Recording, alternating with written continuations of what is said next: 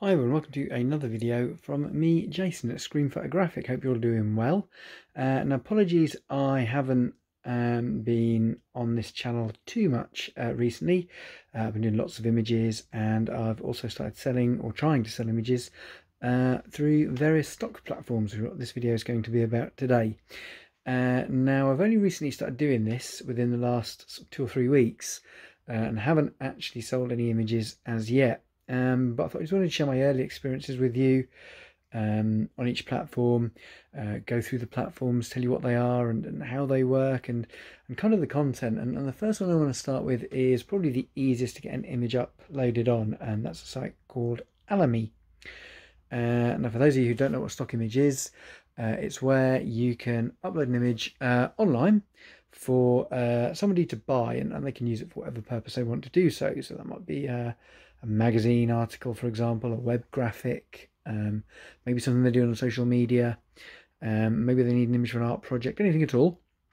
Uh, and the uh, price is set by the um, stock image company. Um, so they uh, set a price you know, per image, uh, per bulk of downloads, and once an image is sold, they then take a cut and you as a creative, uh, as a photographer, will also get a percentage as well. So that's what way bring some passive income, um, and you can probably make a decent amount of money if you've got enough photos and enough time to upload. Uh, so going back to Alamy, this is probably the easiest one to get an image uploaded on.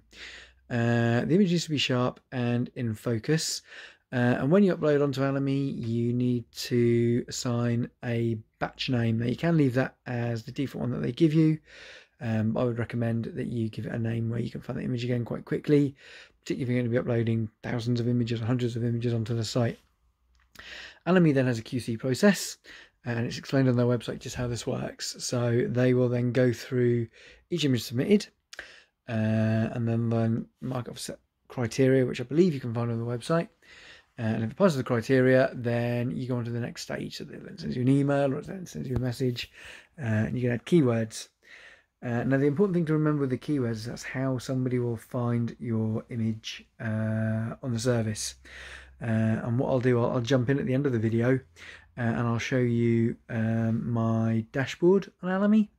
Uh, and I'll also show you how you can um, add those keywords to an image once one is uploaded um, and, and, and how you can go about and getting that more noticeable and how it works. So, a few things. If you are featuring people, you'll always need to have a release to hand. Alamy won't ask for that um, originally, um, but they could ask for it if that image is sold. Uh, and the second point I want to make as well is that if you're um, photographing reportage or news, then you have to add the image in a title in a certain way, and that will be the same for Shutterstock, and I believe that's the way for Adobe Stock. Um, their QA process takes roughly three or four days um, to turn around, um, and they come back to you um, fairly quickly to add those keywords, um, tag the image away that you need to do so, and get it finalized up on site for people to buy and purchase when they're searching for it. And the second one is Shutterstock, and to be fair, they will accept they claim they accept most images but i'm finding i'm having the most issues with shutterstock um, they seem very, very particular on the type of image that they'll onto the website. And I don't mean that type of, of what the subject matter of the image is, um, but by how it's, it's put together. So a basic image, if it's not maybe bright enough, they'll reject it. Um, if maybe it's got some kind of filmic module in editing, they'll um, reject it. So it needs to be quite a pure image. Um, however, having said that, I don't know how they set their criteria and I think it depends on your level on the website because I'm finding that people who've got images with maybe film grain on or um, perhaps noise because I've shot a, a, live event, for example, at a rock concert where the lighting maybe isn't great, uh, are still getting their images passed through, um, but they're being rejected on, um, or, or, similar images that I've taken, for example, will be rejected. Um, it's hard to get to grips because I don't really explain why the image is rejected, and some of the um, reasons I come apart with are, are quite spurious. Um, I'm starting to lean away from Shutterstock already. Um, it's a very, very populated service, and I'm finding it very, very difficult to get images, even the ones that meet the criteria that they claim on their website, pass through their QA. Um, but very similar to Alamy, um, they work on a faster turnaround time. However, you can usually get an image um, QC'd and and and, and the approval or, or the rejection back um, within minutes sometimes, um, but certainly within a couple of hours. Um, and it allows you to again add tags uh, and again add titles and, and, ways that you can find the image. And the last one's pretty good. The last one is Adobe stock, and of course it's Adobe who run um, Photoshop uh, and Lightroom and, and, all the other Adobe software, Dreamweaver and everything like that. Um, now, if you've got an Adobe ID and you're either a photographer or uh, an illustrator or a graphic designer, fantastic. Get yourself on Adobe stock. Um, again, just like the other two, there's a very, very easy process. You simply upload an image. Um, but Adobe Stock works slightly different. Is that when you upload the image, you can then batch it up with other ones straight away, or assign your keywords at the point of upload rather than having to wait for the image to be QC'd um, assigning a title, and then getting the image onto the platform. Uh, they do have a, a, longer turnaround time, which they say on their website is about a week, and I'm finding that to be quite um, quite accurate. Um, now with um, Adobe Stock as well, uh, I'm finding the images that I've had rejected on Shutterstock are being accepted by Adobe Stock. Um, it does seem a lot fairer and it does seem a lot easier to get these images um, onto the platform as well. Uh, they'll to have pictures of um, models, people, as long as you have a release form. Uh, if it was, for example, something like a street shoot, as long as you upload an editorial in a certain date and time format, which tends to be agreed um, across sites such as Reuters and Shutterstock and Adobe and, and, and all the other ones, um, that must be an industry wide thing, then you have no problems getting your images up on site, and I recommend that you do that. Uh, now, I believe it's slightly different for illustrations because essentially you're creating all of the content from scratch. We're using elements of other content. Um, but I must admit, this, I've never uploaded any kind of graphic design work. Um, please leave a comment if if I'm incorrect on there. Uh, now, I also want to quickly just go back to um, to Shutterstock as well. Um, their forums are very good. So, once you are getting images rejected, there is always help on hand. Um, although, as I said earlier, it is hard to get images on there. They seem to have a tighter, uh, tighter, um, tighter rein on things, if you like. Um, I mean, in terms of the images, the process is quite easy. It's literally a case of just signing up to the website, following the instructions. It doesn't cost you anything to use. Um, you'll never have to pay any money to use Shutterstock, Alamy, Adobe Stock, or any other stock websites out there. Syn for music photography. Um, but it, once somebody purchases one of your images, um, you'll fit in with the pricing structure that's explained on the website. So for some, you can make mere pennies. For some, you can make twenty or thirty pounds. Uh, I believe Alamy um, you'll probably make the most money from in terms of a single download or single use of the image, um, but you won't get many downloads of it. Or a Shutterstock and Adobe stock, that tends to be more um, more continual. So you can upload an image, maybe get a few downloads, and a few months down the line, it'll also be downloading constantly through days, months, years as people find the image and, and as they need to do it. Um, but you'll get mere pennies. So it's it's a service that's not really going to make you rich, but there are people on there who um, do make some money from um, stock imagery. Uh, with thousands upon thousands of photos, um, and they're all very good. Um, Shutterstock, yes, they want quality, um, and who can blame them, of course, because I want to sell these out to to an audience. Um, as I say, Adobe and um, and Alamy are more than happy to take images, perhaps Shutterstock won't. Uh, Alamy being a smaller platform, and Adobe Stock being very, very huge. And, and also, if you tag images already in um, Lightroom, um, they'll automatically pull through when you export them uh, via Photoshop uh, or as a JPEG or a PNG or, or whatever that you want. And they will then upload into um, Adobe Stock straight away. Uh, I don't believe they do that to the other platforms, but I don't use um, Lightroom, and I'm trying to find out uh, if they will pull through from things like Darktable, RawTherapee, or other raw editing software. If you were to add the um, the pixels, on, the um, keywords on there as well. Um, so they're my early experiences. Once I sell an image, I would love to do another video and tell you um, that I've done that. In the meantime, if you look up here, or possibly up here, you'll see a link to the um, previously that I did on um, changing eye colour uh, and, and, a couple of ways that you can do that. Um, going forward, I've got lots more shoots I'm going to be doing, lots more ideas. Um, I'm working with uh, a couple of local, or a local band, and hopefully that will lead to bigger and better. Um, but that's it. I just thought I'd share this with you. Short 10 minute video. Um, I hope you enjoyed it. I hope you found it interesting. And hopefully the next thing I can report to you is when we sell an image, which won't be long. Um, I'll see you in the next video. Thanks for watching, and uh, you look after yourself. Okay guys, well I promised in the main video that there'd be more that I would show you uh, and that's exactly what I'm going to do. So I'm going to go through some of the stock sites um, that I use uh, and I'm going to show you the platform. So this is Alamy uh, and once you're signed up into Alamy you can start uploading images um, almost straight away. Uh, so their, their, turnaround time is usually two or three days. Um, I have had images approved um, within a couple of hours. Um, Shutterstock is the best one for this. Uh, and Adobe Stock takes around about a week, which I'm finding to be quite accurate. So when you first log in, this is what you'll see. You'll see any images you've got on sale. I've currently got seven. You see images on sale with poor discoverability, and that's slightly inaccurate. And the reason being is that the image I'm going to show you and show you the process with has already been on sale. Uh, I've just marked it back to, to not on sale, so it should really be here, but it's, it's, it's, it's actually here because I've taken all the keywords out. Um, and they can view your sales and everything on here, uh, any sales history that you've had, um, any kind of account balance. It all comes up in new tabs, it's easy to keep track of, which I quite like. And if you were going to upload an image, you'd go here, and it's the same as it would be in uploading images to anywhere else. Um, but we're not going to do that. I said I'd show you how keywords work on the site and how the process of getting an image um, is shown. So I've only been on the site for a couple of weeks, and no sales as yet, but hopefully we can change that very, very quickly. So this is your um, area where all of your submissions or rejections are placed in. So I've had um, a couple rejected for software lacking definition.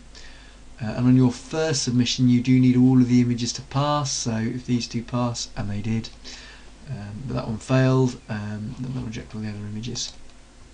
These ones pass, this image here with the cars will come back to you later. You'll see that then, I'll show you how to find that on Alamy. Um, but what we're going to do, we're going to go back to the dashboard and we're going to go to the image which is currently not on sale. Um, and let's clear all the filters so we can see that. So that's going to be this one. Um, now what I'm going to do is going to select all of these uh, and copy them and I'm going to delete them. So we're essentially starting from scratch as if we just uploaded the image. So the first thing you'll need to do is click to highlight it and you know you've highlighted it because you'll have a blue box. You can change your pseudonym to something else if you feel that you need to do that. Um, and what you need to do is add a caption for your image uh, and we're going to do that using man holding two black and white dice. Make sure the spelling is accurate.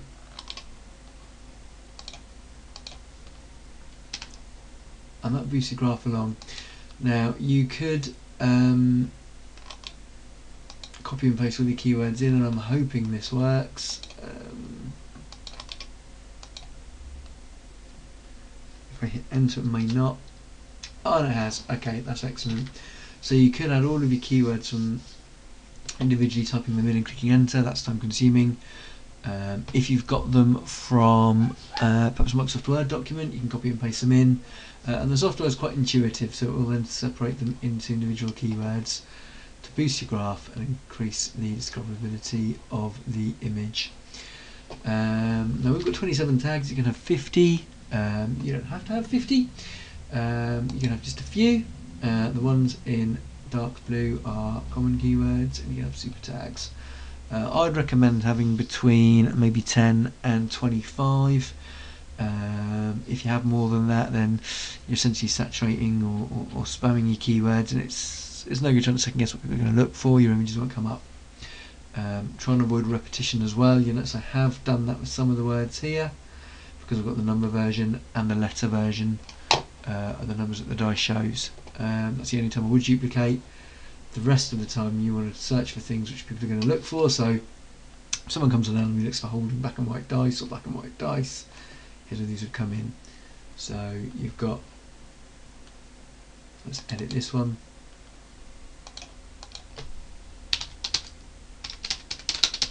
Background blur, add as a new tag, and you've got black and white.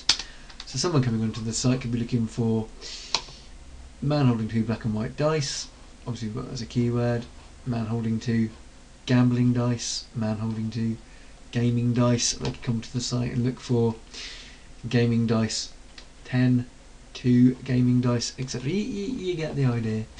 And that boosts when your image is on sale. Um, and you can come and remove the keywords, take an image off sale, we can come and add as many keywords as, as you wanted to do so.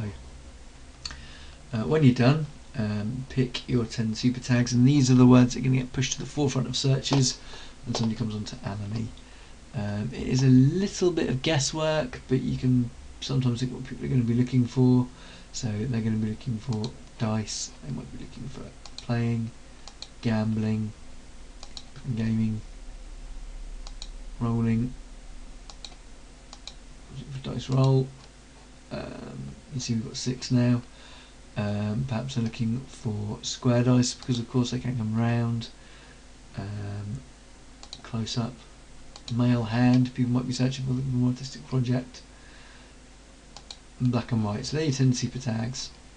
Uh, now your license type, um, rights management royalty free, of course, as you're probably already aware. Uh, rights management a license based on specific usage and will be paid every time someone downloads an image or if you upload it as rights managed, people can download the image for a particular size for a set fee. It may not be what they want and you'll probably find you get paid less. It recommends that you stay on the default option and I'd be inclined to agree with them there. Uh, now you have the optional tag and this is completely optional. Um, I've already done a little bit of work here, put the images taken, the lifestyle. Um, there's no people in the image. Um, there's no property in the image. Um, is the image source public domain? No, it's not. Is it exclusive to Alamy? No, it's not. Um, as I got up on another website, and you can delete an image from here if you want. So that's the basics, and that one I got for sale. Any changes you make can take up to 48 hours, so it won't be for sale immediately. Uh, and just going back to the image of the cars and showing you how Alamy would work. So if somebody comes on the website, perhaps they live in Norwich and Norfolk, and they're looking for um, Norwich cars. Come onto the site, search for Norwich cars, and there's the image. Um, now I don't know who took all of these other images. There's quite. You'd have to put this up as uh, an editorial style photo because it has property, recognisable property in, uh, and a car as well with a recognisable number plate. Um, that's quite cool because you can't really identify anything and the image I've put here these could be a line of any cars uh, in any city in the UK so that's how that one works. Um, Adobe stock works exactly the same. I've got an image of the um, Jurassic Coast on here which has been up for probably a day or two. Um, you can go to Adobe stock um, probably the biggest stock platform in the world and buy images in exactly the same way uh, you can get insights on how many images have been downloaded and, and what people are looking for at the moment, um, what's selling. So perhaps these are ideas to give you ideas for shoots. Um, perhaps you've already got some of these images laying around. You can upload and make a little bit of money. Um, you've got your contributor account, which has all your details on there, uh, and a number of other things as well. So yeah, all, all very very good. Um, and the last one is Shutterstock, which I've talked about in the video, uh, and they'll upload in exactly the same way. Um, so I hope you found that very useful. Um, so once I've sold an image, I will come back to you and report on that. Uh, and then if you wanted anything else uh, you'd like me to talk about, please leave a, a, comment below. Have you used a stock image website? Have you sold anything yet on a stock image website? Uh, how much money are you making? I'm not going to ask you that, but are you finding it easy to make money on there? And how long have you been on there? Has this got your interest? You know, it's, it's a very easy service. Um, yes, there are millions of pictures out there, but um, somebody's always looking for perhaps what you're selling. Uh, well, that's it for this one. I'll see you uh, in the next video, uh, and uh, much love, and and you take care.